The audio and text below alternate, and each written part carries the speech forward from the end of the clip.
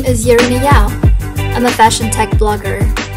I used to think the fashion and technology industry are different worlds, just like engineers could never rock Chanel. But after I lived in Silicon Valley for two years, my mind changed upside down. I realized technology could actually transfer the traditional fashion to a brand new form. It means engineers may not wear luxury brands, but they could upgrade them to something better. That's why I founded Tech Love Style blog to explore the potential between tech and style. And this is how I become a different blogger than the others. Indie is a blend of feminine and masculine, just like style and technology. The exciting new combination is different, but together.